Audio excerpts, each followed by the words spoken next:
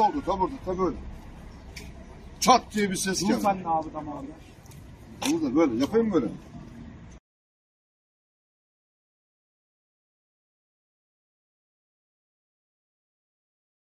Bugün maç var İnegölspor'un Esenler Aralık'la. Maç için geldik işte. Maç saatini bekliyoruz.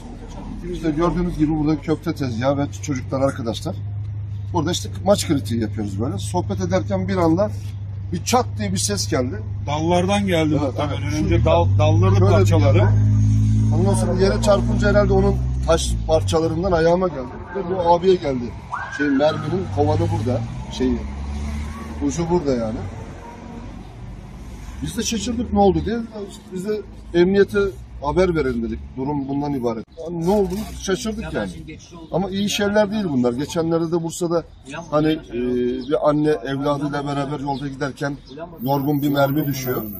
İşte vefat etti kendisi gitti. Aynı durumla karşı karşıya kaldık burada. Üzücü şeyler bunlar. Daha dikkat edilmesi lazım diye düşünüyorum. Yani yine de Bir an önce de Allah korudu bulunmasını bizi. istiyoruz yani bu şahsın. Abi biz konuşurken bir de onlara var bak. Bir, bir. Bir, bir tek.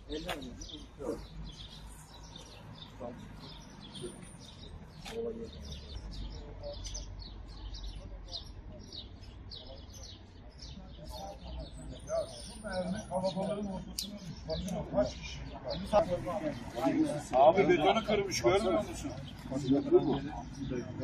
Ne anlatıyorsun abi? Betonu kırmış. Bize mi zarar vermeyecek bak?